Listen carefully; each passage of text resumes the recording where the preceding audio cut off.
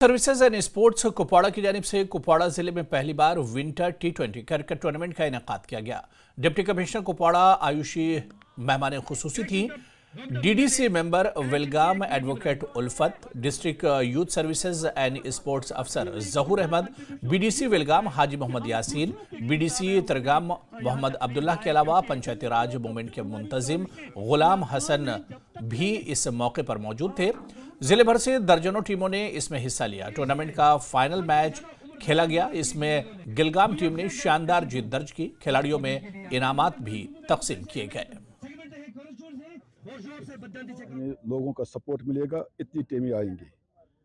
جب ہم نے میڈم سے یہ ٹاسک ملا ڈی سی صاحبہ کی طرف سے، تو ہم نے نوٹیفکیشن نکالی۔ تو پہلے نوٹیفکیشن کا جو ڈیٹ تھا، تو خالی ہمارے پاس فورٹی فور ٹیمز آئی تو ریکویسٹ کی میڈم کو تو ڈیٹ بتا دیا تو ون ہنڈریڈ ففٹی ٹیمز آ گئی۔ اس کے لیے ہم اللہ کا لاکھ لاکھ شکر کریں اور لوگوں کا تہ دل سے شکریہ ادا کر رہے ہیں کہ ان جوانوں نے حصہ لیا اور اس وقت حصہ لے رہے ہیں۔